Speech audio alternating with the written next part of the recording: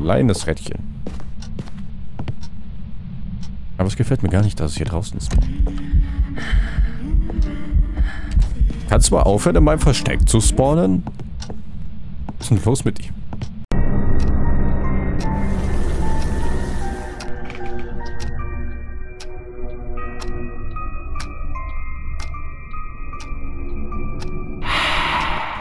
Welcome back, Ladies and Gentlemen. Ich bin Cyberpsycho, ich bin wieder Start mit einer weiteren Runde Phasmophobia und heute finden wir uns im wunderschönen Bleasdale Farmhouse. Momentan finde ich es noch wunderschön und das du raus, ja. Wie gesagt, ich gewöhne mich langsam an die Farmhäuser. Ich finde sie inzwischen sympathisch. Kommt drauf an. Wenn der Breaker hier ist, ja. Wenn der Breaker hier ist, auch ja. Wenn er hier ist, rast dich aus. Okay, wahrscheinlich nicht, aber ich würde es gerne. Vielleicht ich, habe ich Ihnen jetzt ein bisschen Angst gemacht. Wir haben Barbara Skinner. Brauchen eben F, Kruzifix, Foto, Abmarsch. Und ich freue mich ja schon auf das neue Update. Es gibt ja inzwischen auch auf dem Discord von Phasmo, gibt es schon zwei Previews. Und laut Gerüchten zufolge soll es irgendwann jetzt Juni, Juli kommen. Oder erscheinen das Update. Und da wird zum Beispiel das ganze Setup im Menü geändert. Jeder hat jetzt dann so eine Spieler-Set-Card beispielsweise, wo draufsteht. Also was wie so, ein, wie so ein Ausweis aussieht, was ich richtig cool finde. Und eine Map, und zwar das gute alte Asylum, ist gereworked. Underbreakers auf dem Dachboden. Wird gereworked und auch ein bisschen verkleinert. Finde ich zwar irgendwie auch schade, weil ich, ich fand Asylum eigentlich so in Ordnung, wie es war. Wie gesagt, Solo war es jetzt eher langweilig. Aber gerade wenn du jetzt in der Gruppe unterwegs gewesen bist, war die Größe perfekt, fand ich. Das hat super gepasst, gerade für eine Vierergruppe super. Ähm, ich bin mal gespannt, wie es wird. Die Bilder, inwiefern es dann geändert wird oder angepasst wird, sahen auf jeden Fall vielversprechend aus. Aber ich bin gespannt, ob es, ob es mir dann immer noch gefällt. Ich bin da sehr, ich bin da ein bisschen skeptisch, aber okay. Zumindest arbeiten sie an Phasma. Und das finde ich gut. Wie gesagt, weil dadurch, dass einfach die Updates viel zu lange dauern oder sehr lange dauern in dem Fall, bin ich ja dann schon mal froh zu sehen oder zu hören, wenn überhaupt mal wieder ein Update kommt. Ich meine, wenn man sich jetzt überlegt, wie frequent vorher die Updates rauskommen ist, als er noch nur Solo war, also der Entwickler. Und da gab es bam, bam, bam, bam. Immer Updates, selbst wenn nur kleine Updates waren mit Bugfixes oder sowas. Aber jeden zweiten Tag gab es ein kleines Update. Und jetzt dauert es vier Monate, bis ein großes Update kommt, obwohl sie jetzt zu dritt oder zu viert sind. Das ist schon crazy. Okay, aber wir können auf jeden Fall sagen, hier oben haben wir keinen Geisterraum. Und auch kein Pentagramm. Check. Okay, ab nach unten. 16 Grad oder Bärchen. Und ich hoffe einfach, er lässt den Breaker. Es riecht nach Essen. Okay, mein Rechner heizt zwar ein bisschen, der ist jetzt auf 44 Grad und allgemein hier drin sind 30 Grad, aber ich glaube, mein Rechner schmirgelt nicht. Das ist schon mal gut. Vielleicht war da irgendwie noch, keine Ahnung. Vielleicht habe ich irgendwann letztens eine Fliege zerklatscht, die ist in den Rechner reingeflogen und die hat jetzt gebrutzelt. Könnte auch sein. Wobei ich sagen muss, riecht nach Chips. Dann hast du Bacon-Chips. Es geht, Teddy. Hier ist aber alles clear. Also finde ich cool, dass sie jetzt paar Video so geändert haben, dass man hier hinter kann und jetzt auch sich wahrscheinlich wirklich sicher fühlen auch dahinter. Ich schau nur. Aha, wir haben das Papier, hätte ich jetzt fast besehen. Ich nochmal zurückgegangen bin. Hätte mich sonst gehasst, wenn ich jetzt bis hinter in die Garage gegangen wäre, um zu schauen, ob wir ähm, das Readerboard haben. Knochen. Okay, Knochen-Utility.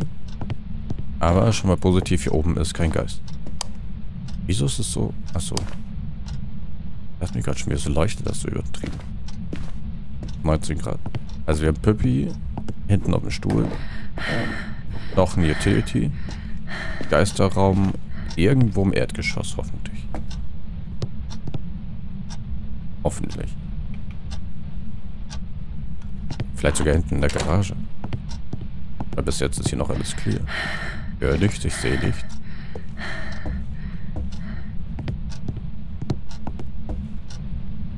Das wäre es ja jetzt, wenn hinten drin, praktisch im letzten Raum, den ich hier so checken würde.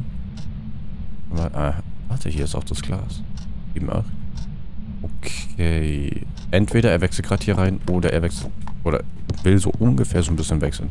Kann auch sein, dass er stark roamt und deswegen so inaktiv ist, aber das habe sogar ich gehört.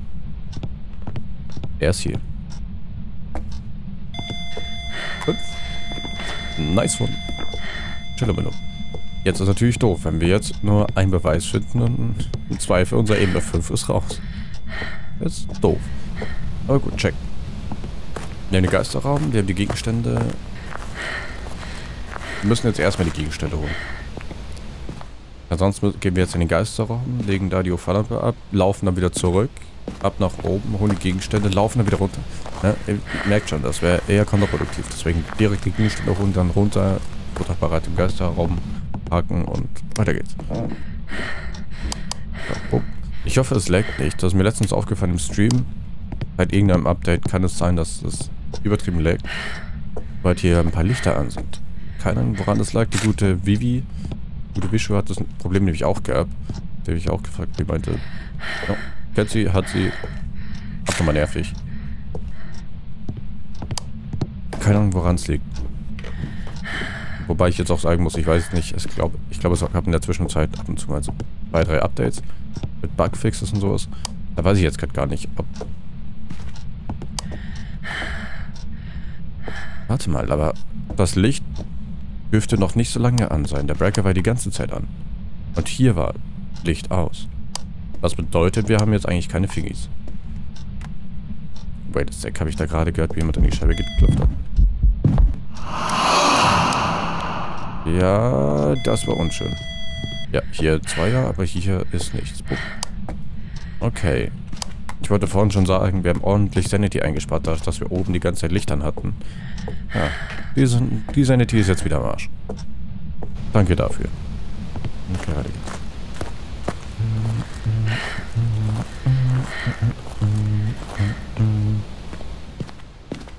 Das gleich die beiden, let's go. Das sieht eigentlich voll schön aus. Wobei man jetzt so ein bisschen die Pixel erkennen kann. Das ist natürlich wieder unschön, aber... Stell ich mir vor, fast mal wieder noch eine krasse Grafik kriegen. Ey, das wäre abnormal. So, wir machen das erstmal hier. Wo bist du? Wie alt bist du? Bist du hier? Zeig dich. Wo bist du? Wie alt bist du? Bist du wütend? Bist du hier? Wo bist du? Wie alt bist du? Bist du wütend? Bist du hier. Zeig dich. No. Ja, hier. Wir schauen nochmal. Breaker müsste ja noch an sein. Hoffe ich. Yep. Und jetzt habe ich hier hinten was gehört. Ähm, ja, sind wir noch hier. Aber es könnte sein, dass er wechselt. Das wir natürlich irgendwie im Auge behalten. Aber jetzt erstmal den letzten Run mit rein und dann können wir aber noch weiterschauen. Da können wir immer noch sehen, hey, hier, ja, nein, doch, vielleicht, Geisterraum. Hallo. Dann halt gleich alles umwechseln. Bringen jetzt erstmal den letzten Run drin und vor allem das Ganze auch noch, bevor er anfängt, Fangen zu spielen, weil sonst wird das Ganze eher ein bisschen kontraproduktiv werden. Wir haben uns noch nach keinem Versteck umgeschaut. Das ist Verstecke von. Ähm, das war kontraproduktiv. Bis jetzt. Und das kann ich euch auf jeden Fall empfehlen. Sobald ihr wisst, wo euer Geisterraum ist, schaut mal verstecken. Am besten in beide Richtungen. Einmal in die Richtung und einmal in die Richtung, in dem Fall jetzt. Je nachdem, wo ihr steht und wo der Geist wohnt, dass ihr dann in die Richtung laufen könnt, habt dann versteckt. Kann ich euch nur ans Herz legen. Da habe ich auch eine gute Kollegin, die gute Maria. Die, ja, die weiß teilweise nicht, wohin sie laufen soll. Die ist da auch noch ein bisschen nervöser. Noch in der Anfangsphase. Ja, deswegen. Einfach schauen, je nachdem, wo ich bin, wo es mir versteckt, dann wird man auch sicherer, finde ich. Dann fühlt man sich wohler und ist nicht ganz so nervös, weil man wei bereits weiß, okay, jetzt fängt die Jagd an und ich weiß bereits, wo ich hinlaufen muss und bin da safe und überlebt die Jagd. Das nimmt viel, viel Angst weg. Mhm. Okay, wir haben das kleine... Wir haben die Zahnreihe. Äh, was? Dots. Okay, wir haben Dots EM5. Dadurch, dass wir Dots und EM5 haben, haben wir auch kein Mimik, was bedeutet, wir haben Gespenst, Gorio, Oni, Raichu. Gespenst, Salz erkennen, Raichu, Geschwindigkeit, Oni, Gorio sind Ausschlussverfahren, beziehungsweise Gorio hinterher dann, ähm, ja, eben dort. Erstmal kurz mit, mit rein für die Quest. Danach bringe ich Salz mit rein. Räucherstäbchen. Ja, wobei erstmal sollte ich Räucherstäbchen bringen. Ich hoffe auch, dass sie jetzt nicht jagt. Und ich hatte das letztens schon mal. Da hatte ich einen Reitschuh. Aber weil alle Gegenstände hier hinten waren, habe ich ihn nicht erkannt. So blöd es klingt. Warte mal, du bist ein Buch. Das ist nur ein Event. Aber ich kann nicht trotzdem ausmachen. Also, jetzt habe ich das Ganze gespreadet. Was bedeutet ganz egal, wo er jetzt spawnt. Wenn er raus möchte, durch eine der Türen, kann er Energie ziehen von einem der Gegenstände. Leute, wäre es ein Reitschuh, müsste er eine erhöhte Geschwindigkeit haben. Check. So viel dazu. Kruzifixe liegen. Check. Foto vom Geist. Äh, ja. Da bin ich eher demotiviert. Also das sage ich ganz ehrlich, das muss jetzt nicht unbedingt sein. Ähm, dann nehme ich jetzt lieber erstmal Räucherstäbchen, lege sie schon mal an die Tür. Für den Fall der Fälle. Wenn es eine Reitschuss und der kommt mit Hyperspeed hinter mir her, dann gibt es keinen Fall der Fälle mehr, dann bin ich tot. Aber dann würden wir zumindest erkennen.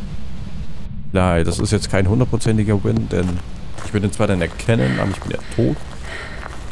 Aber so ein 50-50-Win wäre das. Und da, damit kann ich leben. So, Salz mit rein. Auf jeden Fall, dass ein Gespenst ist. Ist jetzt natürlich ein bisschen tricky. Also eigentlich sollten wir jetzt eine Jagd abwarten, damit wir schauen können, ob es ein Reitschuh ist. Diesen ausklammern. Oder bestätigen, je nachdem. Und danach erst das Salz verwenden für ein Gespenst.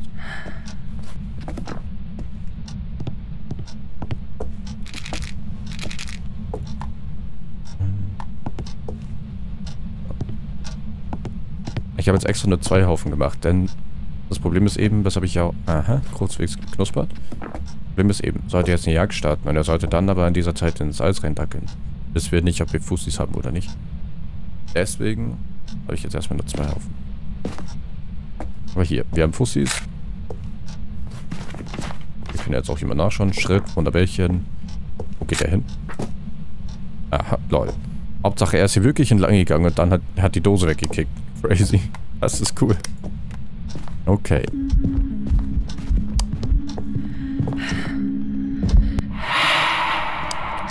Kleines Rädchen. Aber es gefällt mir gar nicht, dass es hier draußen ist. Kannst du mal aufhören, in meinem Versteck zu spawnen? Was ist denn los mit ihm? Gut, jetzt durch die ganzen Events können wir jetzt natürlich auch schlecht den Trick machen. Der Sanity, er jetzt jagt. Jetzt sind wir sehr wahrscheinlich dann schon in der Hunting Range. Er ist dort hinten jetzt aktiv. Das gefällt mir überhaupt nicht. Und da können wir dann natürlich auch keine Dots erkennen, wenn er gar nicht mehr hier dran ist.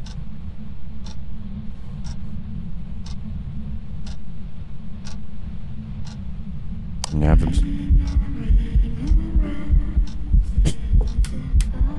Okay.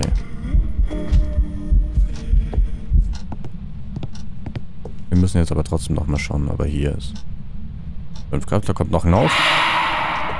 Ich bin beim Gorio gerade. Allein aufgrund der Tatsache, dass er jetzt so aktiv ist. So, na, Gorio sind territorial. Die finden sich bedroht, wenn jemand in ihrem Territorium oder in ihr Territorium eindringt. Eigentlich genau das, was wir gerade machen.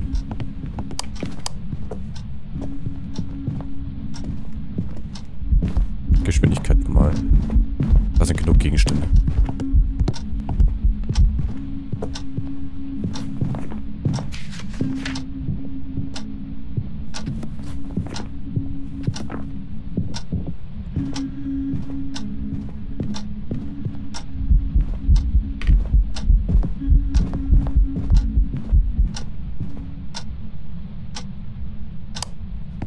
Weiß nicht, wie es euch geht. Klar, Gorio wäre plausibel mit Bereich einbringen, aber irgendwie finde ich finde ich auch den Oni sehr plausibel. Das gerade eben, das war eigentlich perfekt Oni. Mal 50. Äh, was? Okay, wir sind auf ungefähr 20 Prozent. Ähm, ja, das merkt man, da merkt man, dass es vielleicht ein bisschen viele Events waren. Ich werde jetzt erstmal, bevor ich ins Haus gehe, nochmal hier über die Cam schauen, ob wir dort sehen. Sollten wir jetzt zum Beispiel hier keine Dots mehr sehen, dann ne, weiß ich, wir sind im falschen Raum. Sollte ich hier Dots sehen, dann wissen wir, okay, wir können jetzt wieder rein und können schauen. Ich habe jetzt auch extra schon seine Liebling genommen, was bedeutet, da wo er jetzt gerade ist, wird er wahrscheinlich auch bleiben. Sollte er also noch hier sein. Ja, und die Dose bewegt sich, was bedeutet, er sollte auf jeden Fall noch hier sein. Will ich nur darauf warten, ob wir dort sehen.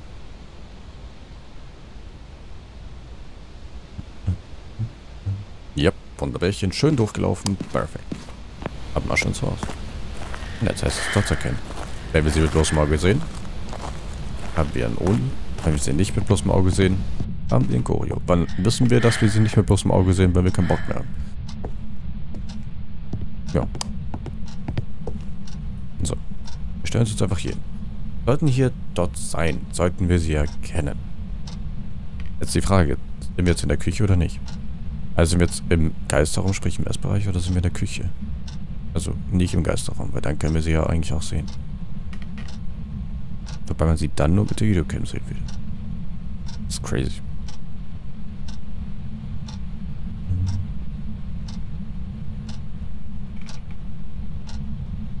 Ich muss halt jetzt meinem Bauch vertrauen. Mein Bauch und meinem, meinen Augen.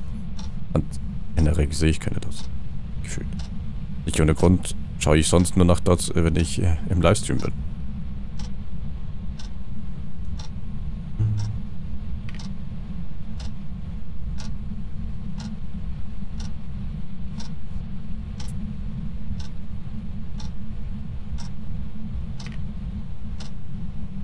Hier ist gerade nichts. Ich sehe keine Dots. Das Problem ist, ihr werdet wahrscheinlich... Okay, Fokus. Ihr, ihr könnt, wie gesagt, zurückmachen. Wenn ihr meinen seid, hey, warte was? Ich nicht.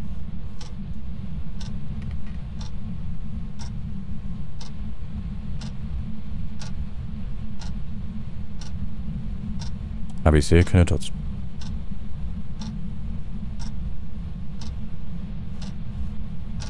Das ist halt jetzt das Schwierige, weil ich meine, wer ist jetzt ein Uni?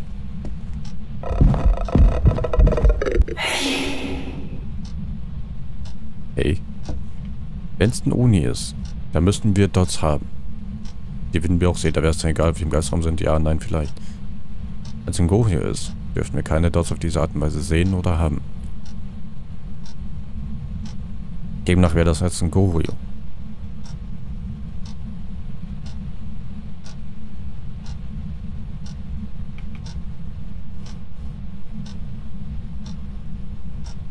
Tatsächlich, wenn ich das jetzt richtig erkenne, haben wir in dieser Woche vier von vier Geistern richtig.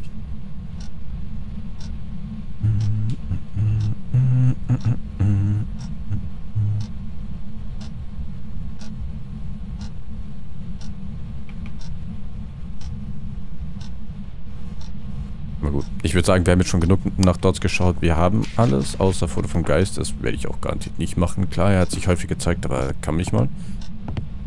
Wir ihn jetzt einfach mal aus. Ich bin beim Gorio. Normalerweise würde ich sagen, vom Verhalten her, dass es ein Oni ist. Weil, ne, wie aktiv er ist und wo er die ganzen Events gegeben hat, das wäre ein wunderschöner Oni. Aber ich habe keine Dots gesehen. An dieser Stelle bin ich jetzt schon mal auf die Kommentare gespannt, weil wenn da wirklich Dots gewesen sind, die ich aber nicht gesehen habe, werde ich mich wahrscheinlich auseinandernehmen. Da habe ich auch kein Problem mit. Wir schauen jetzt hier nochmal, ob wir hier Dots sehen. Das könnte ja auch sein, dass wir hier jetzt auch keine Dots mehr sehen. Das würde bedeuten, dass er gewechselt ist. Oder dass wir es gemerkt haben. Deswegen checken, schauen wir jetzt hier, ob wir hier Dots sehen. Wenn ja, gleich beim Gorio. Wenn nein, müssen wir natürlich eigentlich nochmal alles ändern. Ja, das wäre unschön.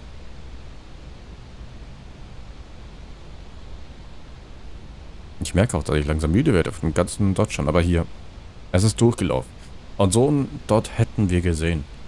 Die ist jetzt eigentlich bei allen drei Malen, wo wir sie gesehen haben, die gute, wen haben wir nochmal? Barbara. Ist eigentlich so durchgelaufen, dass wir sie hätten sehen müssen, weil sie durch den Tisch durchgelaufen ist oder sonstiges. Klar, es kann natürlich sein, dass die Dots, als wir im Haus drin waren, im Geisterraum, dass sie da irgendwie dann nur an der Seite vorbeigelaufen ist. Und halt nur wunderschön durchgelaufen, als wir hier auf dem Bildschirm geschaut haben. Aber wir hätten es sehen müssen. Deswegen, ich bin beim Gorio. Abmarsch. Schau mal. Vier von vier oder Enden wir diese Woche mit einem Blut. Schauen wir mal. Ich bin gespannt. Ja, Foto lasse ich offen. Das Problem ist, solange ich nicht weiß, dass wir... Franco, sehr schön. Solange ich nicht weiß, dass wir ein Foto brauchen und das in dem Moment vergesse, wenn er sich zeigt, zeigt er sich. Sobald ich weiß, ich brauche ein Foto und habe einen Fotopartner zeigt er sich nicht mehr. Deswegen denkt auch Möglichkeit. Aber 260 Dollar, ich bin happy. Ich hoffe, ihr seid es auch. Danke fürs Zuschauen. Haut rein, bis dann. Ciao, ciao.